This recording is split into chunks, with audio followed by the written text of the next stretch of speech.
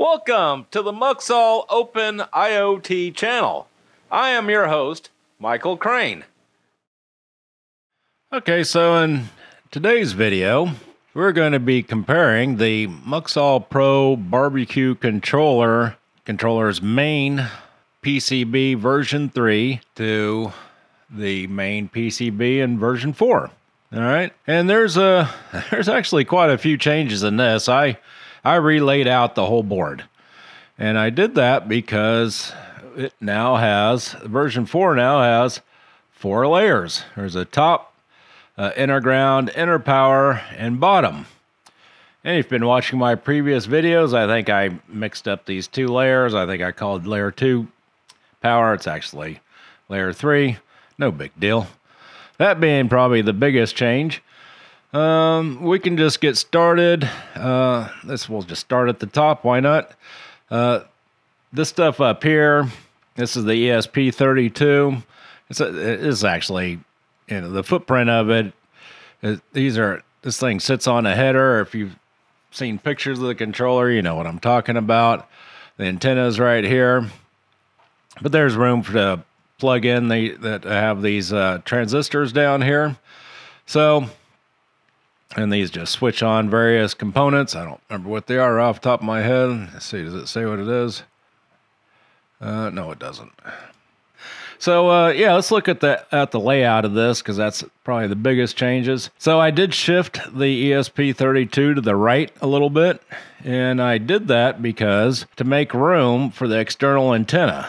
Uh, so right now with the on the version three, the external antenna kind of sticks out here, and if you're trying to stick it in original Traeger con- uh, controller hole, it uh, you can't. well, you can, but you have to kind of either cut it the a little space out for the hole, or or shove it in there somehow. And and it, I couldn't do it in mine, so I'm assuming, and it just needed a just a dad. I'm talking, you know, a few hair widths. So I, I went ahead and shifted that thing over as far as I could uh, without it sticking out the other side over here. That'll give us some more room for that that uh, external antenna connector, right? The the uh, SMA connector, right? It's a little angled connector. You've seen them. You've seen pictures of the controller. Okay, and uh, these these guys didn't change. Nothing's changed there.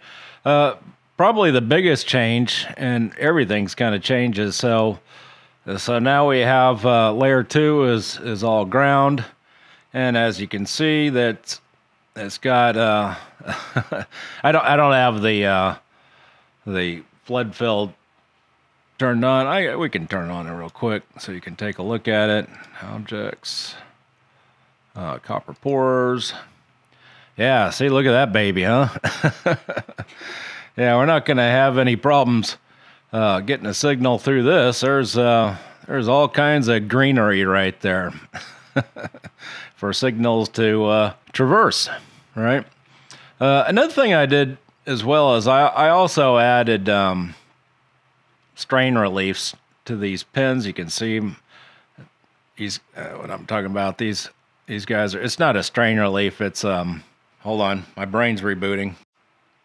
It's, uh, they're, sorry, they're uh, thermal reliefs. I, I, was close. I said strain relief. Yeah, the thermal relief. So when you're soldering, see, this big floodplain acts like a big heat sink, right? And so when you're soldering this guy, you don't want it sinking all the heat away from your pin and you get, get bad solder joints, right? So, uh, so I put all these thermal reliefs in and I did that on all the layers.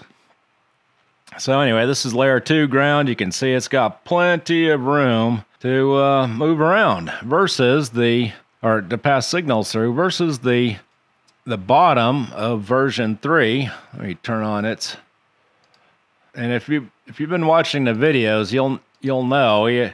So here's version threes and and it, has got a lot of real estate too, but we got a couple little pinch points right here that was causing me problems. I had to add I uh, had to add a bodge wire in here to get the ground uh, a lower inductance path uh, from ground to the ESP32, and then that was pretty much it. on that, yeah, I, I was like, okay, we're just going to, uh, you know, fix that with, well, I had to fix that anyway, but uh, we're now, now with the layer four, oh, we don't have that problem anymore. I know it looks kind of cut up, but believe me, there's there's lots of lots of greenery here to, to for the return signal. Okay, and since we're talking about layers, let's go ahead and we'll just look at the power layer. And it's also flood filled with uh, ground. And but I did run all the power traces uh, with these nice, ginormous. Uh, what are these things? Uh, it doesn't say. Uh, 40 mil traces. so here's a here's a 3.3 volts coming down. It's going to these headers and and uh, what is this guy down here? Let me look at the top layer. Um, oh, that's a rotary encoder. I know it's kind of hard to see, isn't it? That's why I had all the you know, flood fills turned off. Uh, so we could see them, see the components and the and the layout better, right? Uh, but yeah, so the different colors are the different. Uh, so here's a five volt, this is, remember the ADC, this is under the ADC. It's got its own little private power supply right here. So it's, it's got its own little power distribution flood fill and, and see, what is this guy here? Oh, this is just a trace. Oh yeah. So I, you know, if I, when I was routing, if I needed to jump a trace down, I jumped it down to the, the power layer. And I did that because I didn't want to cut up the bottom layer too much. I wanted to make sure there was plenty of room to get signals through. And if you notice, this thing is riddled with vias. All, all four layers, by the way, are flood filled with ground and and riddled. The ground being the green, right? And uh, and they're riddled. This whole thing is riddled with vias. There's a path to ground everywhere right? And I did that for a couple reasons. One for signal integrity, but also to uh, to cut back on the noise. We're going to be running a 240 volt board. I'm sure there's going to be plenty of noise emanating off that baby, and and I want to make sure that you know this uh, these grounds can absorb and and get rid of it, or or at least dampen it quite a bit, right? So, um, all right. So let's go back. That was kind of the quick overview of the layers. Uh, go turn these guys back off because you can't really see anything with them on.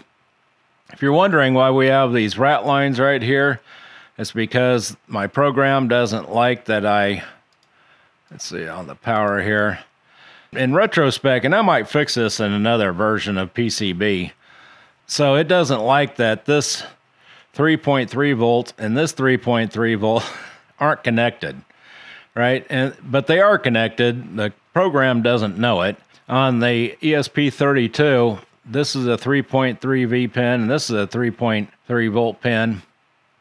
And there's a trace on the ESP32 that connects these, and that's why this doesn't is showing up not connected. If I actually drew a trace right here, it would it would be happy, but it doesn't like that too much right? And then on this five volt board, this is, I'm sorry, five volt line, this is where it's jumping up into the high voltage board. Because if you remember, if you watch the, the video on the high voltage PCB, I have distributed the, high, the five volts on the bottom of the high voltage board.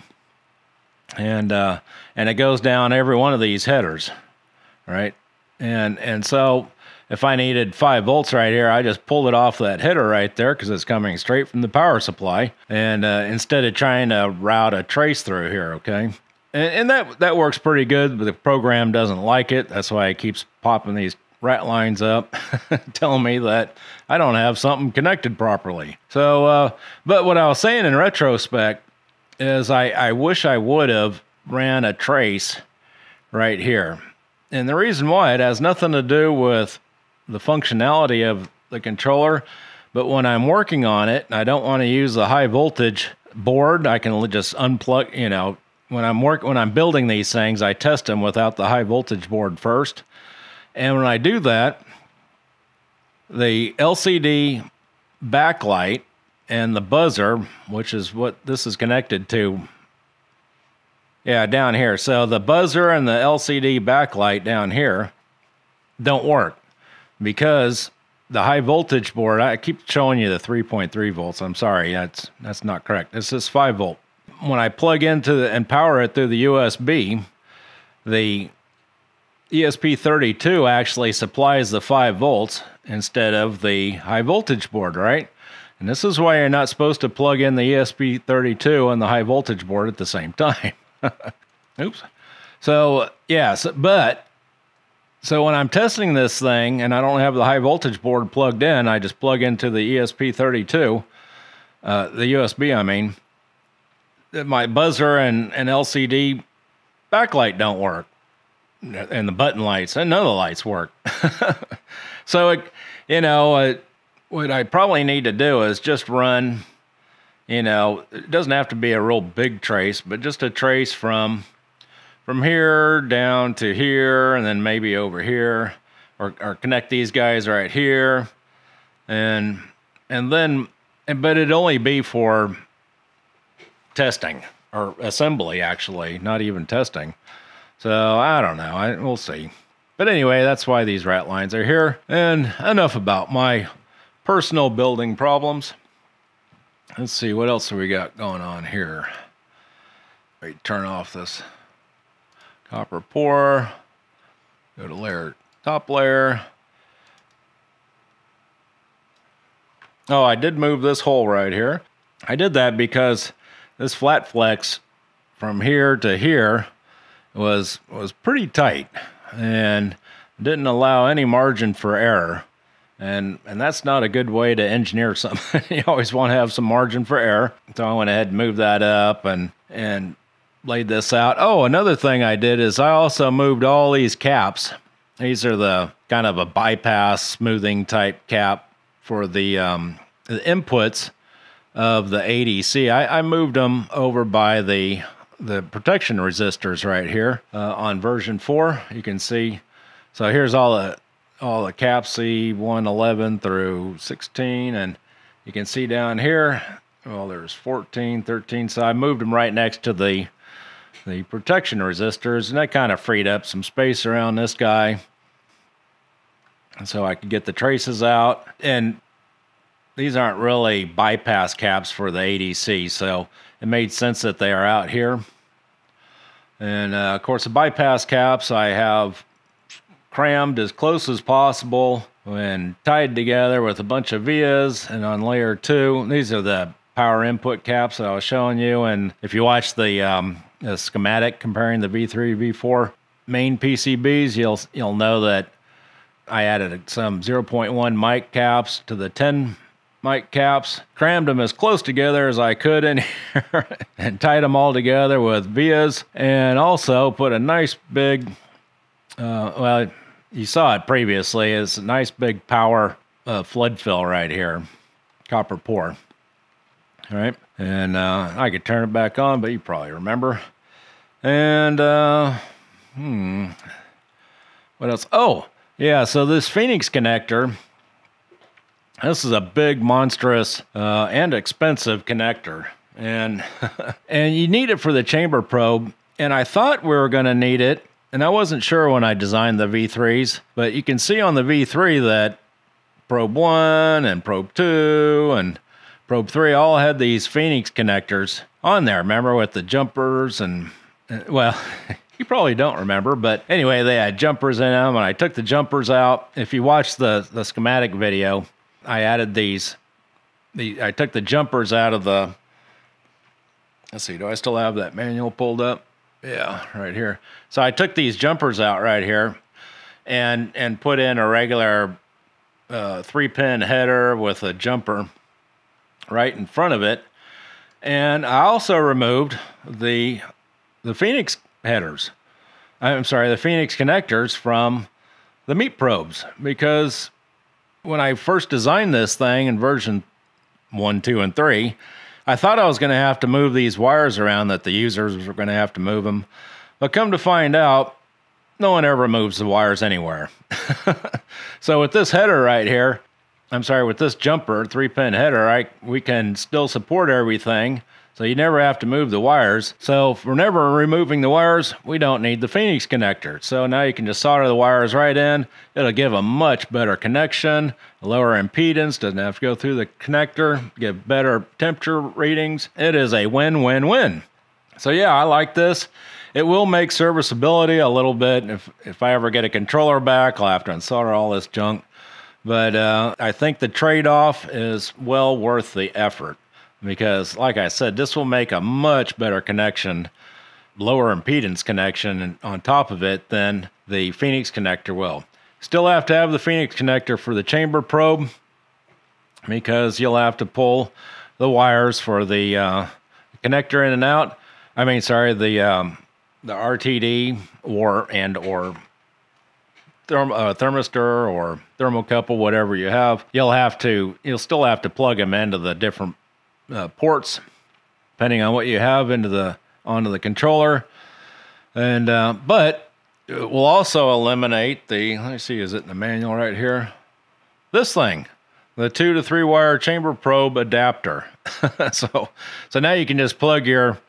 Since I have that jumper right there, you can just plug your your art your chamber temperature probe right into the Phoenix connector. Okay you won't have to, you know, screw anything. You just kind of plug it in there. Now it might get kind of hard. I don't know. We I might still include a a regular a, a chamber probe. Oh, here we go. A regular adapter, kind of like this, except it won't have three wires. It'll just have two. And the reason why this has screws on it, it's easier to access. It's easier to hold. This requires a little bitty screwdriver. You'll have to push down on it, and then you'll have to try to shove the wire into this this hole right here and and the wires on those chamber probes, as you know, are kind of junky and they're real flimsy and flex real easily and and I don't want people calling and saying this thing's a piece of junk. so so anyway, we'll probably still include a, an adapter for people that want to use it, uh, including me. Uh, I don't know. I'll, I'll, give it a shot and see if how hard it is, but I'll I'll probably still include the adapter. Anyway, really got sidetracked on that one, didn't I? So let's see, what else we got here? Um, I talked about the Phoenix connectors and that, the jumpers and moving the hole. The ADC pretty much stayed exactly where it was at. I it might have shifted. It looks like it shifted a little bit. Oh yeah, it did shift a little bit, so make room for the uh, power supply. Here's the um, DC to DC converter, and that's powering the that's supplying nice clean, stable power to the ADC. It's real close to it. There's all the caps for the power supply right next to it. Everything's real as close as possible, plugged right in. This thing should be solid as a rock. All right.